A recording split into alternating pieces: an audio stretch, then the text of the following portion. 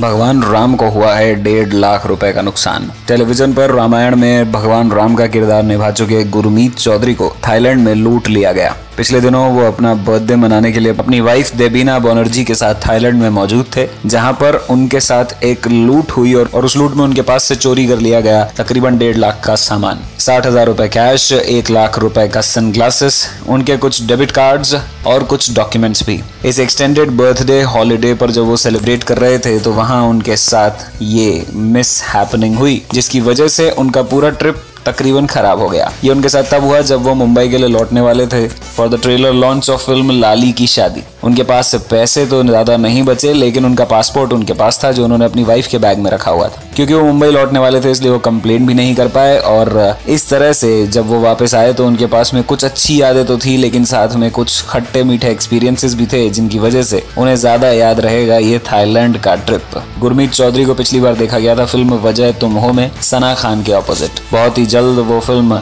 लाली की शादी में लड्डू दीवाना फ़िल्म में नज़र आएँगे।